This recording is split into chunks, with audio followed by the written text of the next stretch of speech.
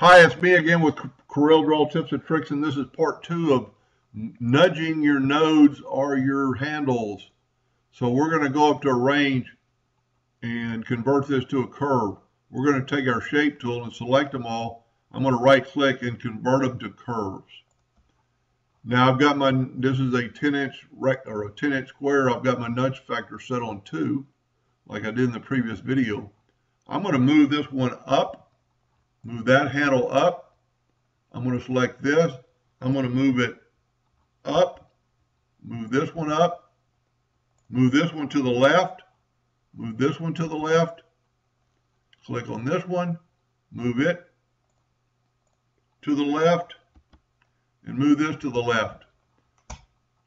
That's a pretty cool shape if you were going to do something like this. Control D and make a duplicate of that grab that node right there and put it right there.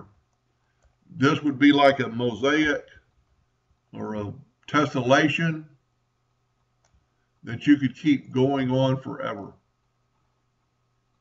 Pretty cool. Let's color them in different colors. Let's go with uh, blue.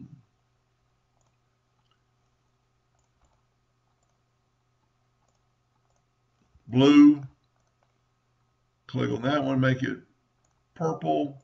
Click on that one, make it turquoise, and make that one orange. Pretty cool effect. Anyway, a little bit of fun. You can use that for a lot of projects.